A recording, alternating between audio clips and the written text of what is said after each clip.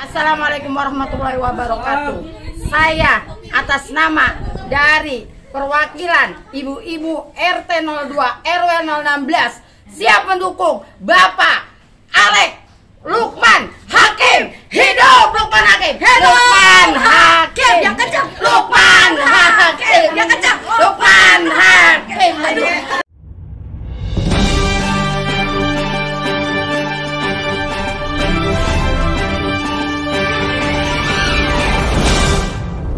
رقت عيناي شوقا ولطيبة ذرفت عشقا Bakal calon anggota legislatif DPRD Kota Bekasi Partai Amanat Nasional Pemilu 2024, Lukman Hakim alias Bang Alex, terus gencar melakukan belusukan ke sejumlah wilayah di dapilnya Bekasi Utara dan Medan Satria untuk bersilaturahmi dengan warga masyarakat.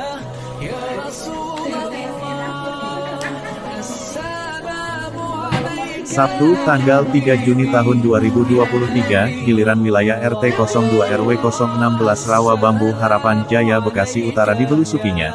Dalam kesempatan belusukannya di wilayah tersebut, Lukman Hakim ditemani istri tercinta Haja Suryana bersilaturahmi dengan puluhan ibu-ibu Majelis Taklim Darurohmah Wal Istiqomah pimpinan Ustazah Hajah Masruro, yang saat itu sedang mengadakan pengajian rutin.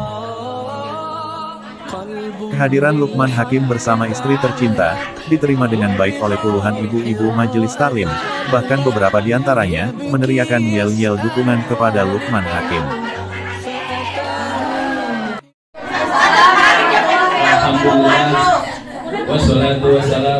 Ketika diberi kesempatan menyampaikan sambutan, Lukman Hakim memperkenalkan jati dirinya, serta memohon doa dan dukungan ibu-ibu majelis taklim, agar dirinya sukses terpilih menjadi anggota Dewan Kota Bekasi, mewakili Bekasi Utara dan Medan Satria di pemilu 2024 mendatang.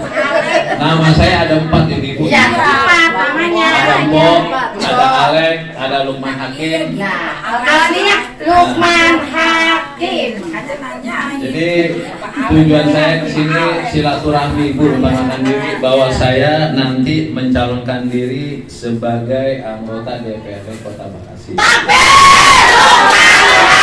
Ibu dia sakit. Lagi teriak. Tanpa dukungan dari ibu-ibu Ya. yang hadir di sini saya tidak bisa berbuat apa-apa. Saya Saya mohon doa dan dukungannya karena tanpa doa dan dukungan Bu saya tidak bisa berbuat apa-apa. Ya. Walaupun kita punya duit sekarung, banyak sekarung, tapi kalau Allah tidak ridho tidak akan bisa Bu.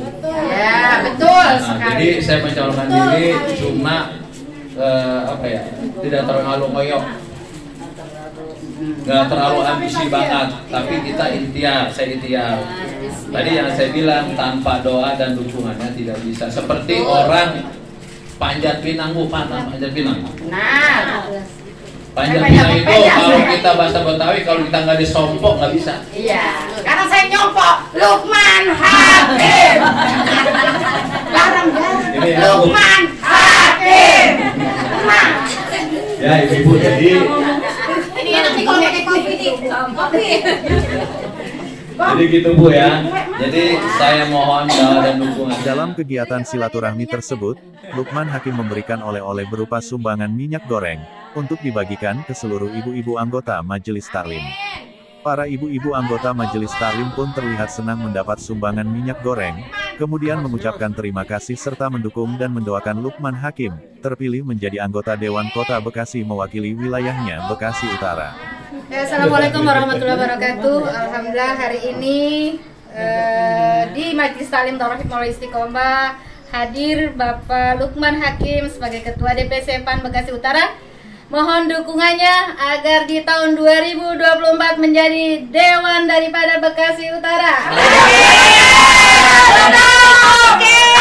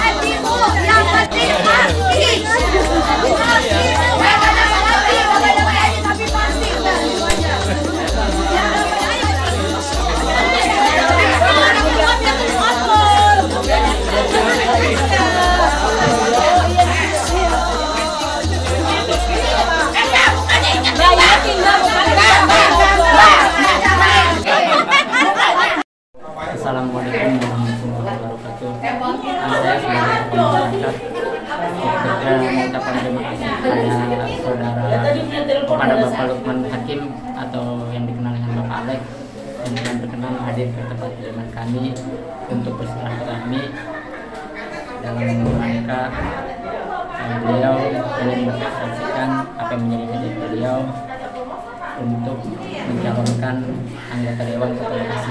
Untuk kebetulan dengan sahabat saya, saya ingin beliau untuk menjadi sekarang ini dulu punya jabatan di Ketua DPC Partai Amanat Nasional Bekasi Utara.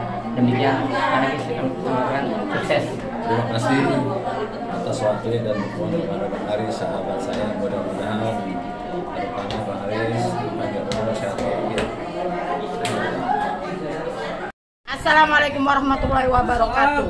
Saya atas nama dari perwakilan ibu-ibu RT 02 RW 016 siap mendukung Bapak Alek Lukman Hakim. Hidup Lukman Hakim. Hidup Lukman Hakim. Yang kencang. Lukman Hakim. Yang kencang. Lukman Hakim.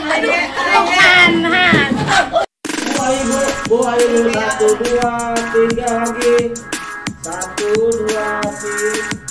Ahmad Zarkasis Putar Publik melaporkan dari Bekasi. Sure.